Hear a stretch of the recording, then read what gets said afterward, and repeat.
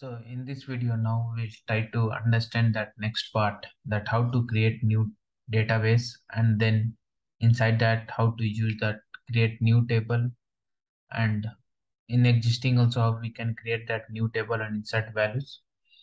So we're going to focus on those two things first. So before going to there, I'll show you in my SQL server.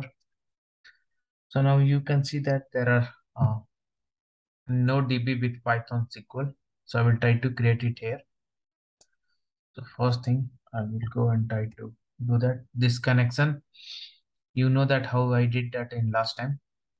Similarly, I provided all these other details and try to connect it. Okay. So I got that connection established. Okay. So now once that connection is established, what we need to do? We need to do now again cursor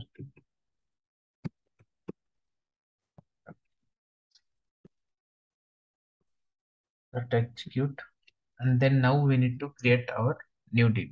So to create DB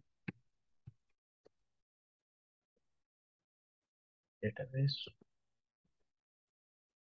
Python SQL. Okay. And if I go ahead and execute, we can see it's executed successfully. And if I go ahead and try to refresh it, so we can see that Python SQL is already created here. Okay. So now first step is done. Now to create table inside of this one, so what we need, we need to just do it here and go and first thing, we need to use this environment. Okay. So I'm going to use that Python SQL environment. So I done that. So I came to Python SQL environment and now what I'm going to do, I'm going to create this one new table inside this environment. Okay.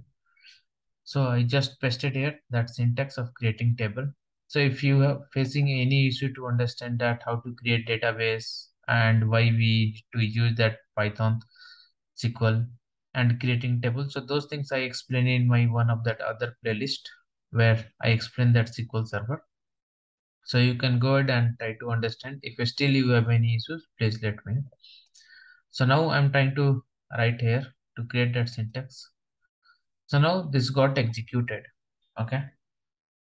And now once we try to create any uh, table or any value we wanted to insert.